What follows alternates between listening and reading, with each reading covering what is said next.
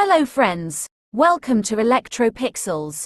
If you like our channel, please don't forget to like, share, subscribe and press the bell icon for getting further notification. Hello friends once again welcome back to yet another vlog of Electropixels today in this video we are going to repair this 32 inch OnePlus Smart Android LED TV with fault double image problem. See friends this is the fault, actually it indicates a display shorting complaints, as we discussed earlier these types of complaints are mainly due to internal shorting in gate signals inside the glass panel the shorting may be either from the left side or right side of the glass panel if both sides gate signals are short then it's difficult to repair. If shorting is in any one side of the glass panel then we can repair it using a temporary solution,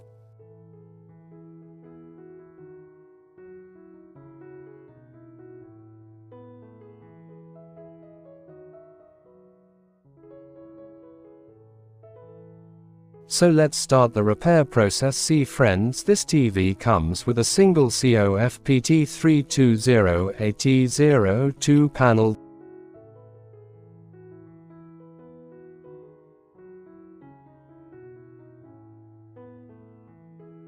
These gate signal tracks represents both right side and left side glass panel which are connected with a pair of SMD resistors.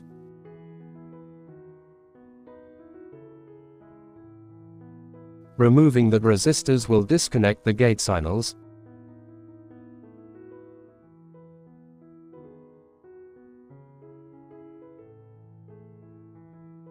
So here these are marked gate signals tracks.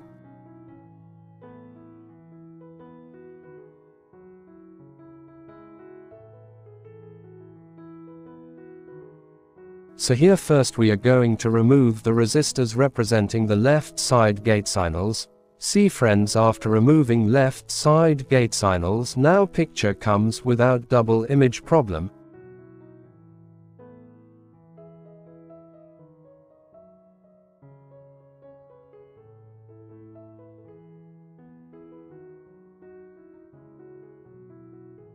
But always remember that this is just only a temporary solution permanent solution is always panel replacement and we can't predict how long the display will work using this method it completely depends on user luck basis.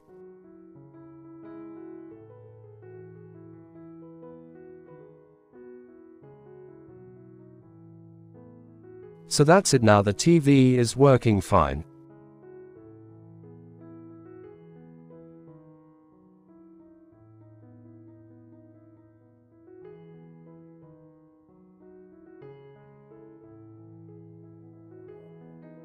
If you like our channel please don't forget to like share subscribe and press the bell icon for getting further notification thank you for watching have a nice day.